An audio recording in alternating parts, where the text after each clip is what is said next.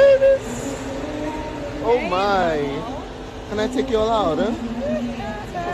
We'll think Oh, yeah? about it. You, think, you, you said yes, you think about Oh yeah, no, madam, let's be going. It's heaven. Thank Oh, oh you guys are looking beautiful. Hey, we're outside. Outside, they're all let's come and Oh. Hello, friends, family, and friends.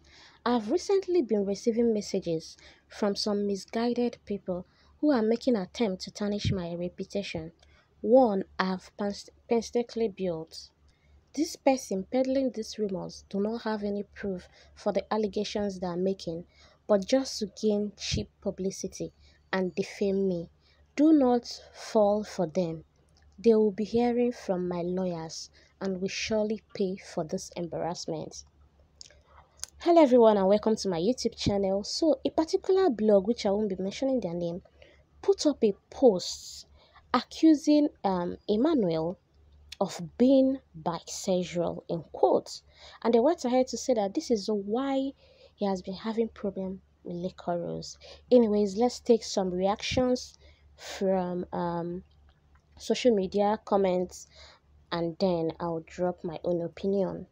Brenda said faceless toxic bloggers. Unfortunately, a good number of blog visitors follow and camp on their sites, especially when they support your faiths and throw those you don't like. One or two of them need to be exposed and taught a bitter lesson. As long as they register their numbers in blogs with their NIN, it will only take time. Experts, expertise, and maybe money to give them.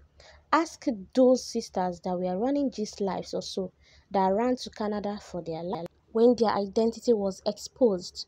Emmanuel, go ahead. If you can take the stress and use the bloggers as deterrent to others. Wow, guys. Another said, people take reality show to a whole different level.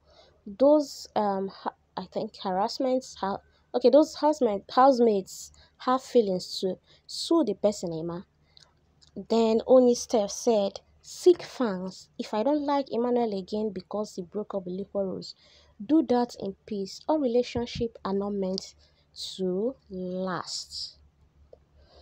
Bloggers are doing way too much for traffic. They are doing way too much for traffic. Anyway, more comments. Another said, they should pick a struggle at least. At this point, the only thing they are yet to say about him is that he's a Judas Iscariot that betrayed the Maker. Today he's cheats, porn, marriage, gigolo. Tomorrow he sleeps with his fans and shippers. He's dating PH girls. He's dating us SA girls. He slept with all girls in Dubai. Big Brother Naija, one person will always be the villain in a ship. One person will always be said to be using another. One person is the reason it didn't work out. Reality shows is not for Nigerians, I beg.